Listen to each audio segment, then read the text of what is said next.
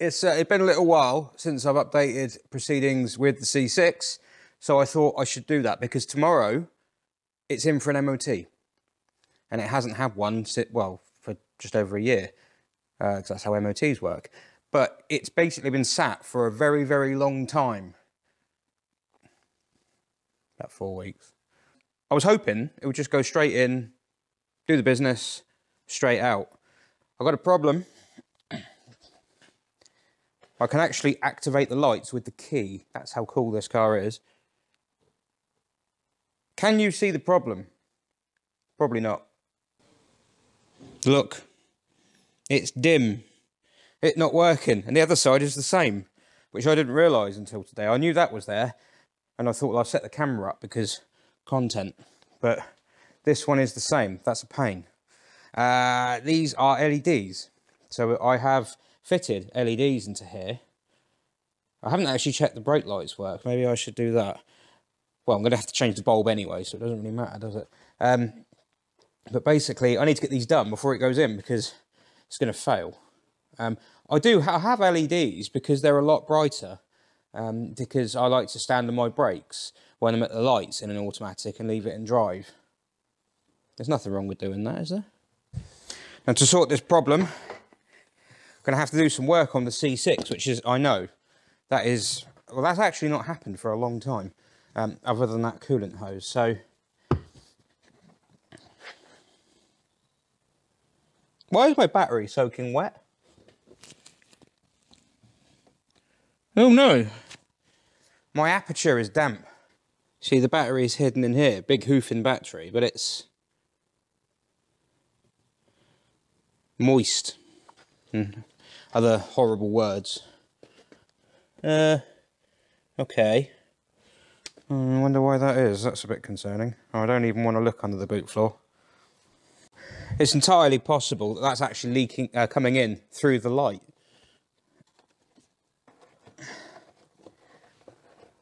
There's some little plastic wing nuts, and there are some studs that hold the light in at what seems like opposing angles, which makes it even more fun getting out than you'd think for a light that goes all the way from the rear bumper to the quarter light. Uh, and one that's shaped like a boomerang. So I try throwing it and see if it comes back. I'm not going to throw it. God, no. These are probably about a million pound. I think it's just two. Yep. Ooh, it's a bit mossy and dirty. Yep, so that's just two lights. Uh, two lights, two nuts. Yeah, these are. There we go. We're out. And then we got individual. Oh, I might as well pull all these off. Individual bulb holders, so it's not like a big sub loom you disconnect. You take the whole. You have to take each bulb out. That's fine, because I'm going to need to look at them. There we go. It's a funky looking light, isn't it? Hmm. No, they are at the same angle. It's just, I don't know. Gasket there. Maybe the gasket's a bit worn. Maybe I should put a rubber washer up there. All right, well, let's have another look. Let's see what the deal is. So I can operate these lights because they're all still plugged in. So you've got indicator there, two stop and goes, I believe they are. These are the LEDs, yeah, that's a stop and stop and go, stop and tail. Yeah, they're both dual element. Birds again. And then this is the side marker light, which is amber. So if I operate the lights, well, we can immediately see what the problem is.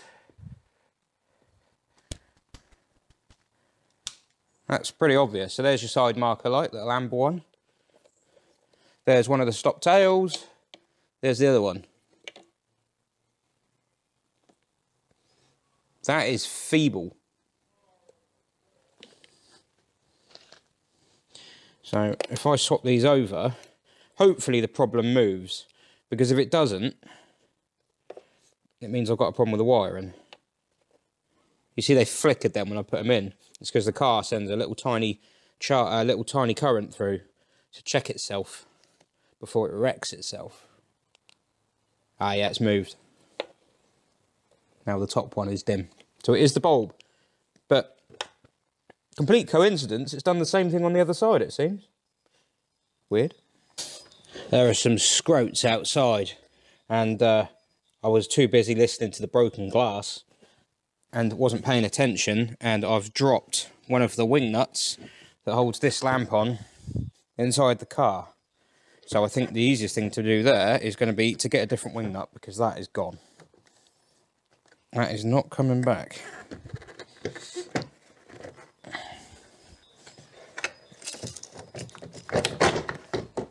there's a bit of condensation inside this light as well, so it's just. I haven't got LEDs for the indicators because it it played silly buggers when I tried that. It couldn't deal with them. They flashed super fast. It's really annoying about that wing nut. Because it's not in here, it's going to be like... You've only got two little flaps of carpet you can access it through, so you have to pull all this out to get to it, which I'm... No, I'm not feeling that. So, in theory, should be the same again. Yes, it is. Bright and dimmer. If I swap them round, let's look, they flicker, flicker when they go in. Yep. Problem has moved again. That's quite odd that it's done that on both sides. The day gets better. I don't have any bulbs I've run out. I've only got normal bulbs, which means I'll have to do away with all my LEDs, and that'd make me sad. It really bugs me. Why can't you just buy LEDs that work? LEDs should last longer than bulbs. There's no reason why they don't.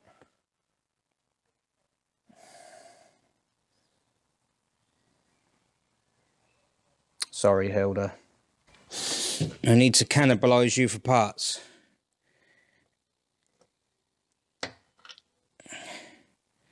And I had to turn these bulbs down as well to fit in the housing. I'm going to leave these off so I know that I've nicked them. Because, God, it won't even come off.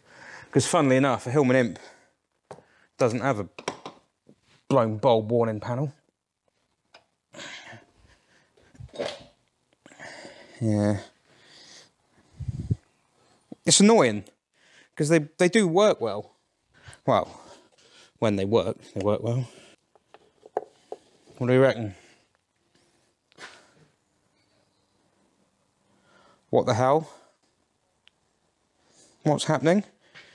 Right, my driver's side is working perfectly. My passenger side is... What is... Have I got... Did I get my knackered one and my good one muddled up?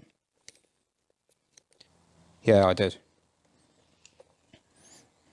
Yay. So these two bulbs are goosed.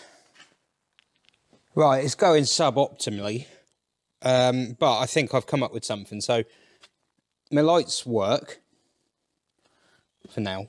Um, I want to stop the leak because I don't know if it's leaking that side because I can't see in there. If I could see in there, I'd be able to retrieve my wing nut, but I can't see in there. So I've had to go and get another wing nut, which is like that.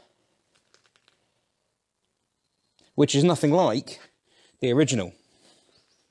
The original was plakic and has a big flat back on it. And the big flat back lends itself to this rubber seal, this rubber washer, which will sit behind it like this. Ah, but you're saying, oh, there's a gap in the middle. There's nothing to govern how tight that will go. It will just keep crushing the washer until the washer displays, displaces itself. So I have an anti-crush stainless washer to pass inside. So it sits like this. So it will pinch the rubber, but it will only go as far as the washer inside. Ah, but the rubber won't work with this, you say. Look, this is very true. Even if I put the washer in there, that's not going to work, is it?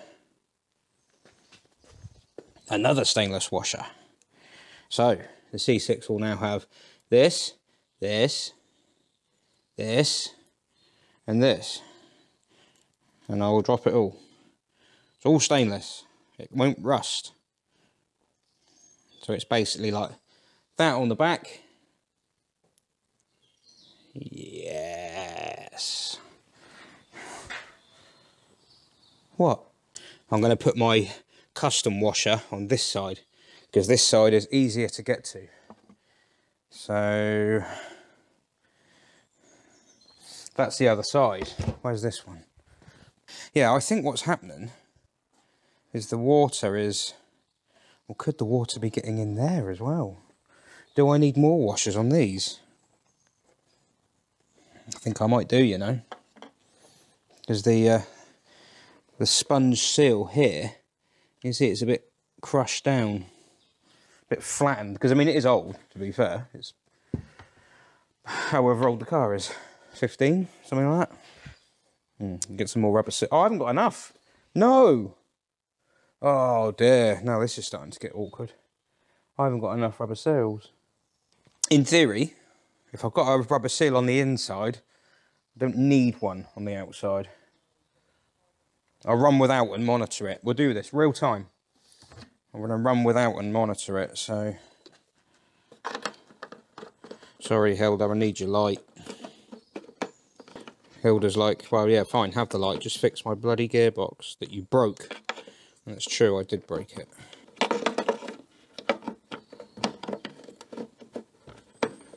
I, if I throw this, will you mind? In there like that. There we go. See, I ran out of time today because I've been too busy faffing around on a customer's car. And I didn't actually get round to um, like doing everything else I was going to do on this, like cleaning everything as I go. But to be fair, the C6 is a daily.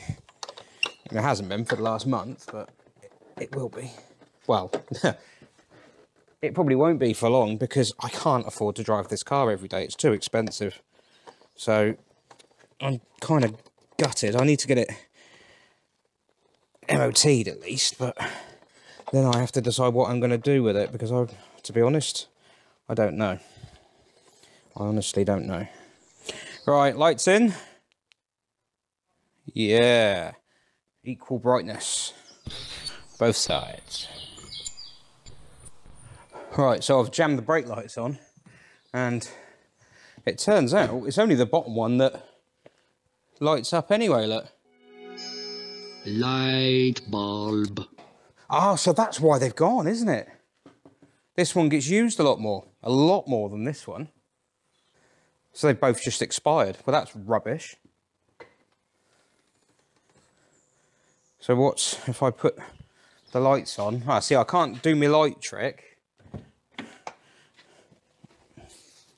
Oh, hang on.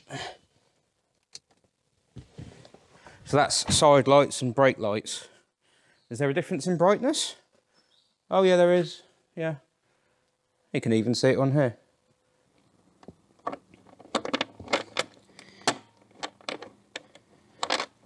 So this one's actually going to be the harder one of the two because the access to these is terrible. It's just two little tiny flaps.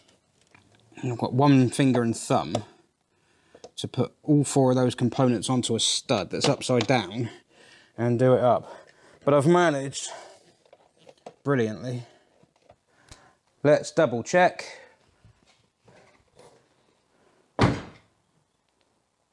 Oh, what? No?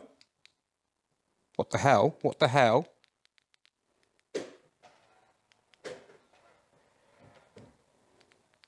My lights aren't working. I swear to God, you better be in some sort of battery saver mode.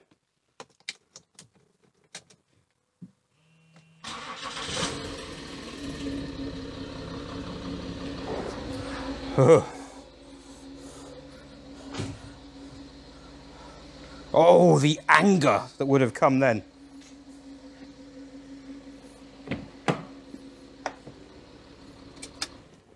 Right, well that's going to do it for there a video where I change some bulbs for some second-hand bulbs. Um, sorry, I quite enjoy doing that. It's the other reason I've got LEDs. I like the way they turn on. They're just instant.